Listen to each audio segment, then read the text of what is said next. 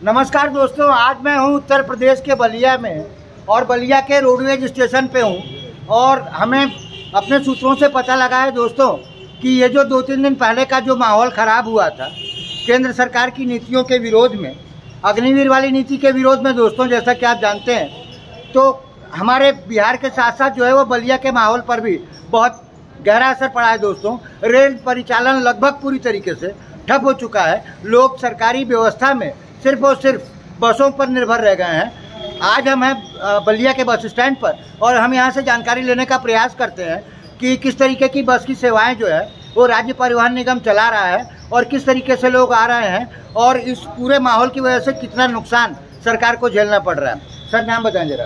राकेश श्रीवास्तव। राकेश श्रीवास्तव जी। सहायक क्षेत्रीय प्रबंधक बलिया। राकेश श्रीवास्तव जी सहायक क्षेत्रीय प्रबंधक हैं बलिया के। और आपसे हम पूछना चाहेंगे कि सर ये जो बवाल हुआ है तब से यात्रा पर यात्रियों पर कितना प्रभाव पड़ा? बहुत ज़्यादा प्रभाव पड़ा है। यात्री तो बिल्कुल नाम मात्र के निकल रहे हैं जी जी। और नाम मात्र की गाड़ियाँ भी चल रही हैं। मतलब लोग भयभीत हैं? बिल्कुल भयभीत हैं। घर से नहीं निकल रहे? हैं नहीं घर से नहीं निकल रहे। हैं आप खुद स्टेशन की स्थिति देख लीजिए। जी जी दिखा दिखाइए दिखाइए दिखाइए जरा।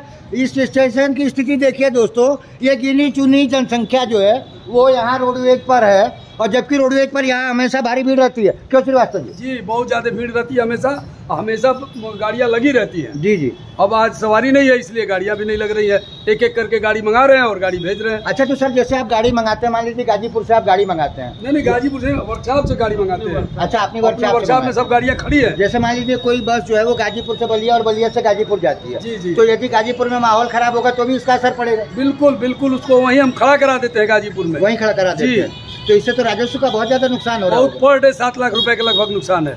देखिए दोस्तों क्षेत्रीय प्रबंधक साहब बता रहे हैं कि सात लाख रुपए पर डे का नुकसान है और इस मामले में हम बहुत जल्दी जो है वो परिवहन परिवहन मंत्री जो उत्तर प्रदेश शासन के हैं दयाशंकर सिंह जी हम उनसे भी बात करने का प्रयास करेंगे लखनऊ जा करके हम ये बताना चाहते हैं दोस्तों आपको कि बहुत सारे लोग इंतज़ार कर रहे हैं अपने लिए साधनों का। इसका भी हमको पता चला तो साधन हाँ। साधन साधन चल रहे हैं सर पूरे सब जगह जी जी हर जगह के साधन चल रहे हैं। लखनऊ गाड़ी गई है दो ठो। जी। एक गाड़ी दिल्ली गई है। जी जी। बाकी लोकल मार्ग पे देखिए वहाँ पे नगरा जी जी। सिकंदरपुर होके जा रही है एक नगरा होके जा रही है बेलथरा। तो ये चारों तरफ़ गाड़ियाँ चल रही है। सवारी के अभाव में कम चल रही है बस। सवारी के अभाव में कम चल लोग भाई आइए कुछ लोगों से हम बातचीत करते हैं जो गाड़ियों का इंतज़ार कर रहे हैं। यही पूछ लेते हैं कहाँ जाना है आपको? मऊ जाना है गाड़ी नहीं मिल रही है? तो कितने बजे से बैठे हैं आप? लगभग ग्यारह बजे। से बैठे हैं। क्या पता चल रहा है कब तक बस मिलेगी?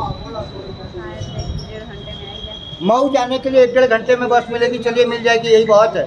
ये सवारी कहाँ जाना है बाबू आपको बनारस जाना है। बस कब मिलेगी आपको? ढाई बजे बस मिलेगी। तो अभी तो दो, दो तीन घंटे आपको इंतज़ार करना है। तो मऊ जाने के लिए दो से तीन घंटे इंतज़ार करना पड़ रहा है। देखिए दोस्तों कुछ लोगों की नासमझी की वजह से कुछ लोगों की गलती की वजह से पूरे देश को भुगतना पड़ता है और उसमें हमारा जिला भी अछूता नहीं रहा। बिहार के साथ साथ हमारे बलिया पर भी इसका बहुत गहरा प्रभाव पड़ा है और लोग जो है वो बहुत कम संख्या में यहाँ पर उपलब्ध है रोडवेज़ स्टेशन पर और उसके बाद भी जो लोग उपलब्ध हैं उनको समय से साधन नहीं मिल मिल पा रहा है। मैडम कहाँ जाना है आपको? नागपुर जाना है आपको? बाई बस जाएँगे आप? तो नागपुर तो बहुत दूर है यहाँ से। अच्छा यहाँ से बनारस जाएँगे बस से। तो बनारस की बस आपको कब मिलेगी? ढाई बजे मिलेगी। मतलब लगभग डेढ़ दो घंटे आपको इंतज़ार करना है। तो ये तो बहुत कष्ट हो रहा होगा आप लोगों को। हाँ, और यहाँ से जो आपको वहाँ से नागपुर का कनेक्शन कैसे मिलेगा? आठ बजे ट्रेन है। अच्छा आठ बजे की ट्रेन है तो आठ बजे तक तो मुश्किल लग रहा है आप वहाँ पहुँच पाए। फिर कैसे जाएँगे? फिर अभी बस आएगी तो बस आएगी आठ बजे तक आप नहीं पहुँच पाएँगे बनारस जी? मऊ तक जाएँगे। अच्छा मऊ तक जाएँगे और किसी तरीके से फिर वो दूसरा साधन करके आपको नागपुर जाना पड़ेगा। देखिए दोस्तों, कितनी दूर के यात्री हैं ये महिलाएँ हैं। इन महिलाओं को नागपुर जाना है, महाराष्ट्र में जो इटारसी के बाद पड़ता है।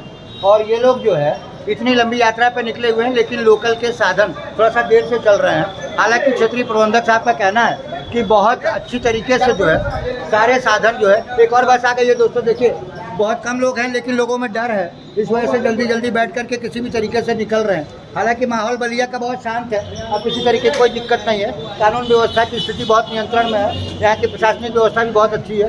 तो सारे लोग जो है वो एक दूसरे का सहयोग कर रहे हैं लेकिन फिर भी बसों में सवारी नहीं है दोस्तों। सवारी की संख्या दिखा दीजिए जरा। ये बस है दोस्तों चार से पाँच दस लोग यहाँ बैठे हुए हैं। ये लोग मऊ जाएँगे मऊ जाएँगे सर? मऊ आजमगढ़ लोग मऊ और आजमगढ़ के बीच में किस बसों में दोस्तों? सीट पर जगह नहीं मिलती है। मजबूरी में लोगों को कभी कभी खड़ा होना पड़ता है। लेकिन आज की स्थिति देखिए दोस्तों, बिल्कुल भी सवारी नहीं है। बिल्कुल भी सवारी नहीं है, कुछ लोगों की नासमझी की वजह से, थोड़े से विरोध की वजह से, थोड़े से पत्थरबाजी की वजह से पूरा का पूरा माहौल खराब हो रहा है। सरकार को करोड़ों रुपए के राजस्व का नुकसान हो रहा है। और आज हैं हम बलिया में, मैं हूँ हरिओम श्रीवास्तव और आप देख रहे हैं मेरा YouTube channel unique news one बहुत बहुत धन्यवाद।